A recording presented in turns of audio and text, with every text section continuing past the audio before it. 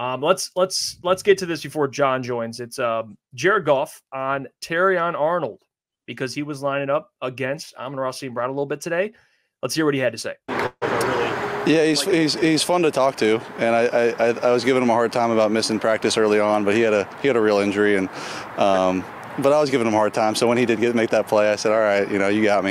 Um, but yeah, he's, he's he's done a good job and um, has been fun to fun to be around. Absolutely. Can you tell? I mean, when, when a quarterback's just got it, I mean, can you tell the, the it's so early. Yeah, I don't know. It's so early. He's only been out here a handful of days, but um, mentally he sure has it with the confidence. Absolutely. Um, but yeah, you know, he was he was drafted in the first round for a reason and um, was high on a lot of draft boards, it seems. So, yeah, we'll see. But he's done a great job up to this point.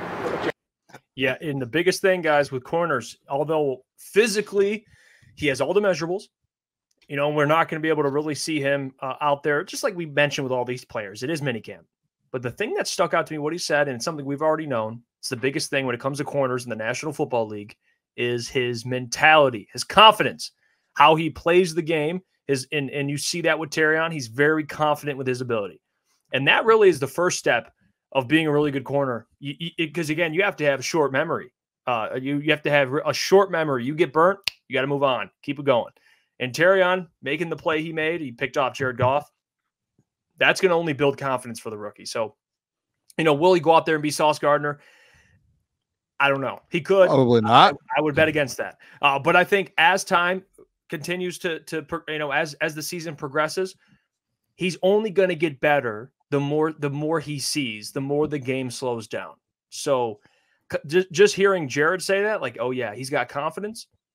That's great, and really that's the first that's the first step into being a, a premier corner in this league. So good for Terrion Arnold. Yeah, I'm not, earlier in the show talking about Terrion, like he's already um, I'm, I'm interested what the doc has to say about this, but it sounded like he's already in there with the, that that first defense all day today. And I don't know if that was like a, a coincidence or if that was just hey he hasn't practiced uh, in, in, a little bit, so it's time like let's get him in and let's get him reps. But the confidence is like I, have talked about it before. Him getting drafted here in Detroit, having the confidence, and not a lot of guys would do this to go back out on the stage or go stay on the stage, say hey let me get that mic and address what was it, three, 400,000 Detroit Lions fans right there. As now knowing that, hey, corner is the biggest position of need on this Lions team. I'm about to step into this after what we just went through with Jeff Okudah a couple years ago. Like, that is massive. Like, that's that confidence.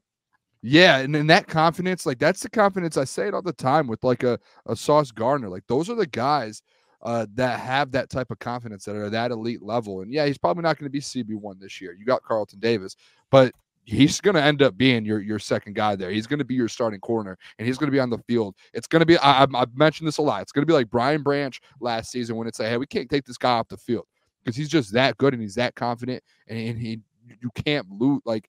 You have to keep him on the field somehow, some way, and that's where I kind of look at Terrion Arnold. And like today was his first day in mini camps. It sounded like, and he already had that instantly, like that aura, that that CB one type aura. So I'm excited to to hear what he did and, and what he's going to be. I can't wait to see him pick off JJ McCarthy. Just it would be so satisfying. He gets he gets his revenge for the playoff game this year in college, and Justin Jefferson just got re-signed, but he still got to have JJ McCarthy throwing the ball. And unfortunately, I think for Vikings fans, especially early on, it's going to be a disaster. And it's going to be a disaster, but that's only going to help Terrion and the rest of this Detroit Lions secondary confidence grow, and they're going to be just playing good ball, especially against JJ McCarthy. Yeah, I mean, and, look at the, look. No, go on. Go I was just say, and on top of all of it, the thing that gets mentioned the most, what's going on in this Detroit Lions defense, is they're taking a step forward. And yesterday, they obviously beat the offense out. Today, a little different story. But what is coming out of that room there is how good of a secondary this is now. And these guys are competing with each other. Even today, Ife Melifonwu came out and it was like, we this room, the best thing about being in this room, like he just kept saying, and that's why I didn't even get a clip for him because he essentially it felt like he kept saying the same thing over. The doc was there, I'm sure, and he kept saying the same thing over ah. was I just love being in this room. I love being in this corner room. I love these guys. I or, or this this secondary room. Like we just keep competing with each other. And he's like, it has nothing like I don't like. There's no animosity with any of us. Like we are all elite at what we do, and we're gonna make each other that much better. There's gonna be no arguments. It's all gonna be like, how can we get each other better? Constructive criticism. Terrion so, Arnold. Yeah, Terrion Arnold in that room already a great talent and, and, and confident he's going to end up get, becoming so good being with AG and being with uh being with this secondary with some of these guys, Carlton Davis. They remember, don't forget what AG did in New Orleans with some of those guys. Yeah, I mean, look at the NFC North. Look at the NFC. It's something that we, we continue to bring up. The amount of wide receivers that are in this division and in this conference. You just need a good set. You need a good pass rush to be able to get to the quarterback, but also you need a, you need some guys on the back end that can make some plays and fly around. And communication is so important. It's everything. And, and hearing Amik Robertson talk, and now hearing um, you know uh, Carlton Davis talk already. You've heard him speak in the past. These guys are all in lockstep. So it's going to be a huge test. I mean, Terry Arnold, week one, is probably going to be facing Puka Nacua uh, or Cooper Kupp for that matter. Any, chicken. either barbecue chicken, ETN. So barbecue he's uh, he, yeah. So he and I'm excited. It's gonna be a big test for him, but you can't deny the man has confidence to be able to to have that. He probably wants that matchup. To be honest with you.